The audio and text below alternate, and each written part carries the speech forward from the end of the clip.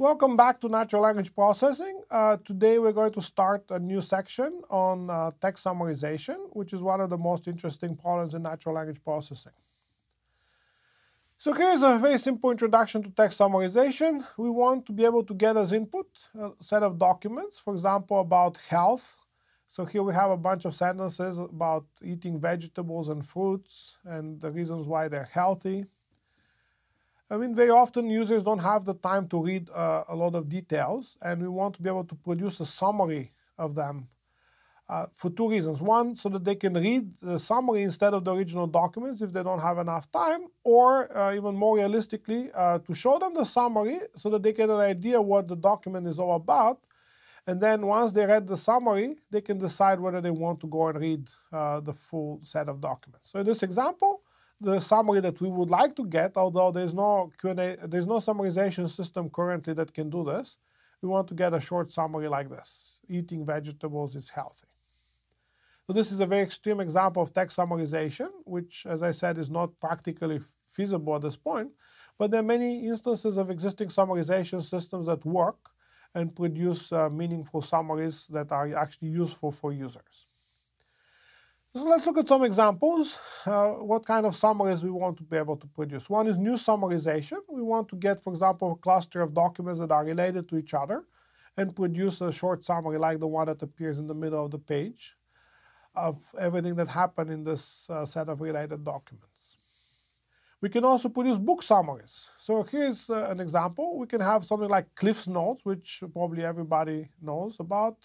Uh, Cliff's Notes are uh, short uh, descriptions of what happens in some large book, plus some additional comments about the characters and the plot and the techniques used in the book.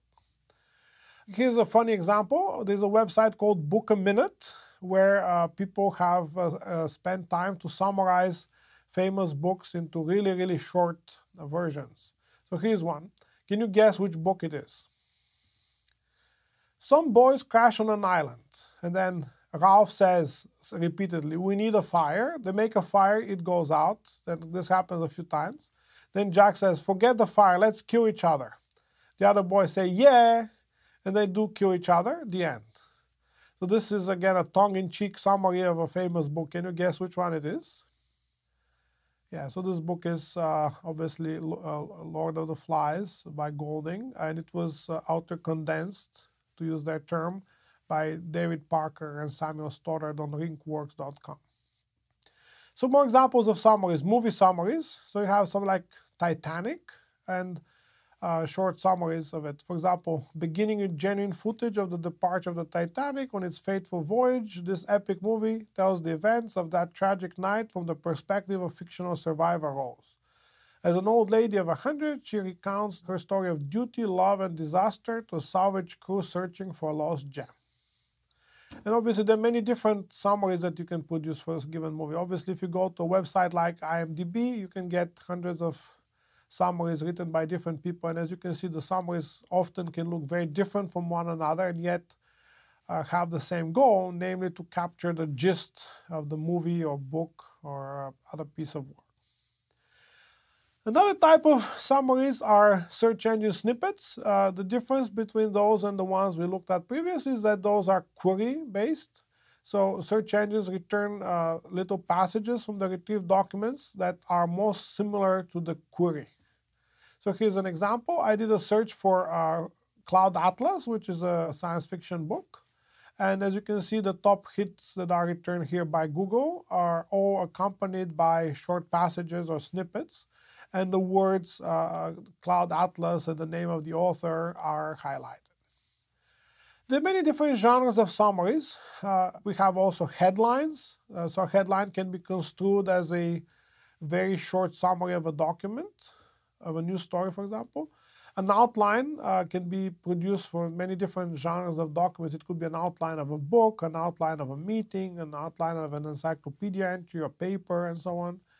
It can also be minutes of meetings, uh, biographies of people, for example, in obituaries or uh, just plain biographies. They can be abridgments. Uh, so abridgments of books are typically shorter versions uh, for uh, different audiences, perhaps for younger children or for people who don't have that much time. They can be sound bites, which are just some small uh, snippets of audio from an interview or from some event. They can be movie summaries, chronologies, and so on. And uh, I want to give credit for this taxonomy to Inderjit Mani and May Mark Maybury uh, from the 99 paper. So what types of summaries can there be? Uh, well, we already saw some of them. But how do we distinguish between the different types of summaries? Well, one of the factors is what's the input? Is it a single document or multiple documents? Is it uh, grammatical text or not? What's the output? Is it uh, grammatical sentences or perhaps just a few keywords? Is it speech or text? What's the purpose? Is it uh, intended to replace uh, the original document or is it just indicative, in which case uh, it just tells you what the original document is about, but doesn't give you all of the details about it. There can also be something called critical summaries, where you're summarizing, for example, a book or a movie, but you're also giving some uh, subjective uh, information about how you feel about it.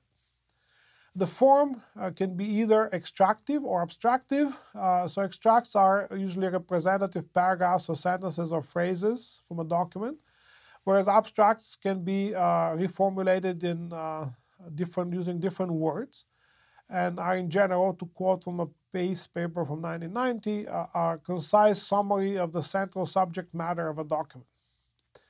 The other dimensions to take into account whether the document summary is uh, based on a single or multiple document input.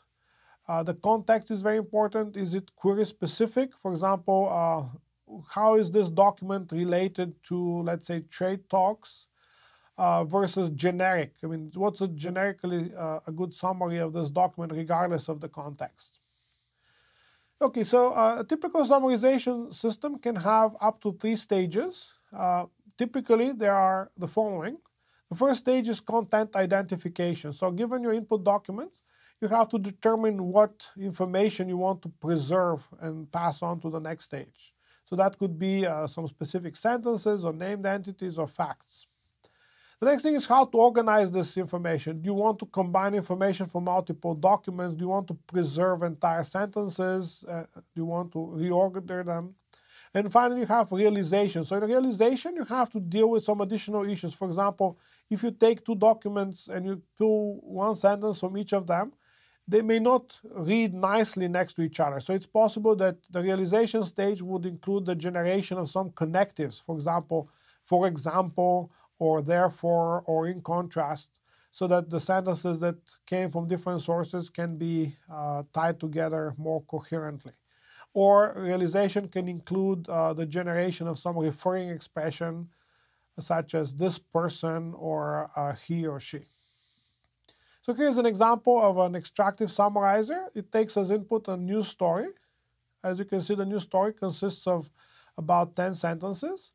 And then we want the summary to include the most important facts that are uh, underlined and uh, shown in red here. Uh, you can see that a purely extractive summarizer would just underline those uh, passages and sentences and present that as the summary. So in this case, realization is practically non-existent because we are just preserving information from the original documents as it appears in exactly the same order. Uh, one important thing to mention here is that extractive summarization can come in two different kinds. Uh, the first kind is where you have only full sentences, uh, like for example the last sentence in this example here, or you can have portions of sentences. That still counts as an extractive summarizer even if you're not extracting the entire sentences. So it turns out that summarization is something that humans have been doing for years. For example, there are professional abstractors that read scientific articles and create, uh, create manual abstracts of those that go into different uh, bibliometric databases. And here's a nice quote from uh, many years ago, from 40 years ago, by Ashworth uh, about what professional abstractors do uh, quote unquote, to take an original article, understand it, and pack it neatly into a nutshell without loss of substance or clarity presents a challenge which many have felt worth taking up for the joys of achievement alone. These are the characteristics of an art form. So this uh, passage very clearly indicates that summarization is uh, a very difficult task that humans uh, may or may not be good at, but that it involves uh, some sufficient, some very significant amount of craftsmanship. Okay, let's now focus on some specific types of summaries. For example, extractive summarization. So as I mentioned before, extractive summarization is about selecting units from the original text and presenting them in the order in which they appear there.